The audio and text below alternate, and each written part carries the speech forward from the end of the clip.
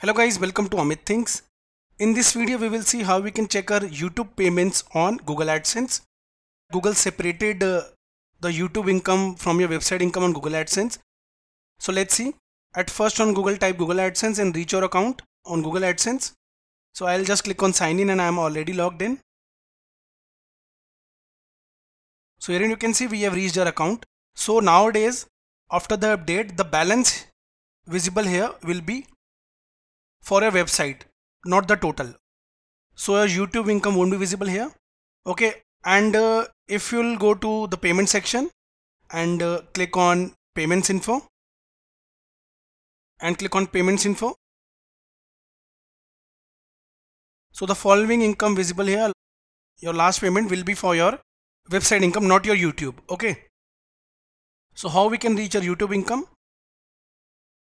So whenever you will go to home after login to Google AdSense.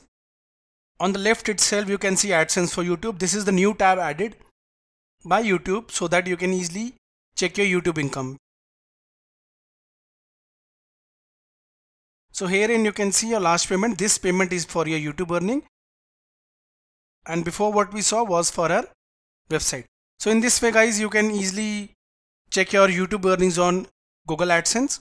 Thank you for watching the video.